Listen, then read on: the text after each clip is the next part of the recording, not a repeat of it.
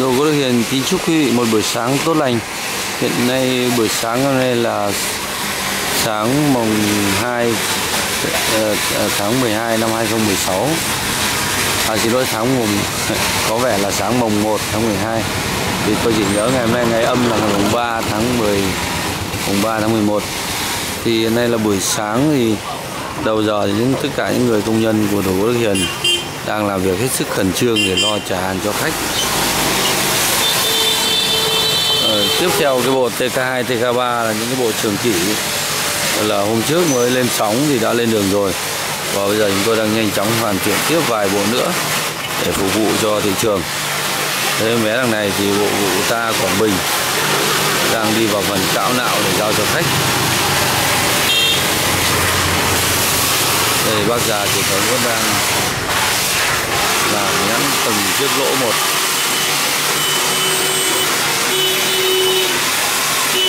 bác đã có tuổi nhưng mà cứ cần mẫn ngày qua ngày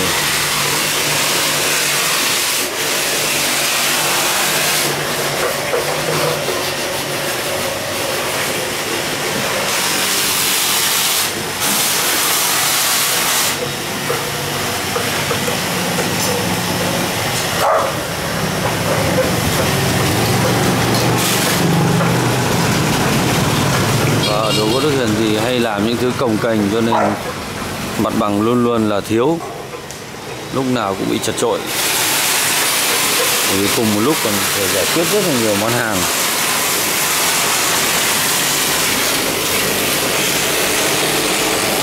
Bây giờ nhờ có sự hỗ trợ của máy móc cho nên là nó năng suất cũng tăng lên được. Tuy nhiên đấy là chỉ là phần làm phá thôi, còn sau đó là phải tay làm lại hết.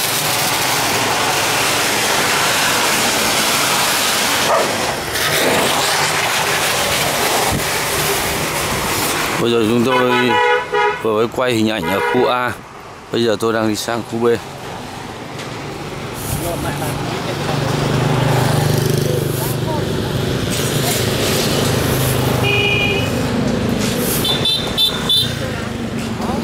Đang buổi sáng cho các cháu bé và nhà chúng tôi là đối diện với trường cấp 1 và trường cấp 3 Cho nên ở đây là rất đông học sinh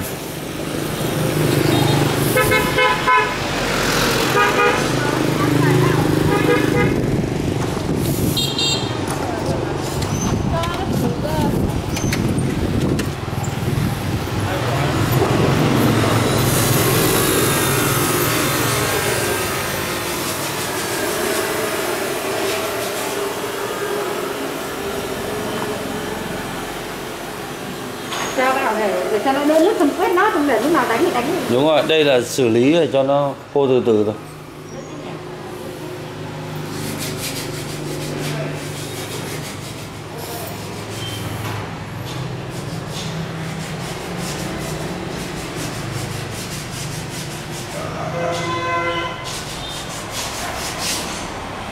Vậy nên thì cái lượng hàng hóa mộc còn quá nhiều và chưa kịp hoàn thiện để ờ,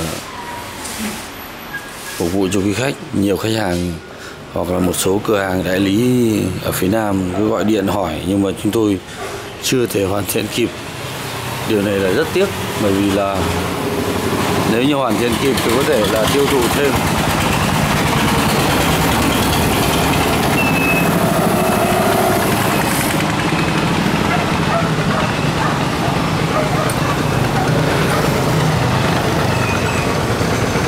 đây làm nghề như này xe nó tấp nập vào